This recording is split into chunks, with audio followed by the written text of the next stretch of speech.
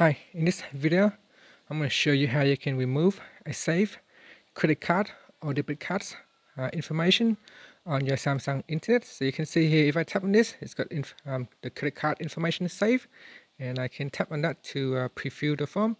So here's how you can remove uh, that credit card's information if you no longer need it. Uh, first, tap on the home key to go back to your home screen, and then tap on the internet browser icon Next, you want to go down and tap on the menu key at the bottom here. Then tap on the settings icon. Next, go down and tap on privacy and security. And then in here, go down and tap on autofill forms. Then tap on credit and debit cards. Now you need to verify your identity. And then tap on delete. Next, select the profile that you want to remove and then tap on the delete button at the bottom.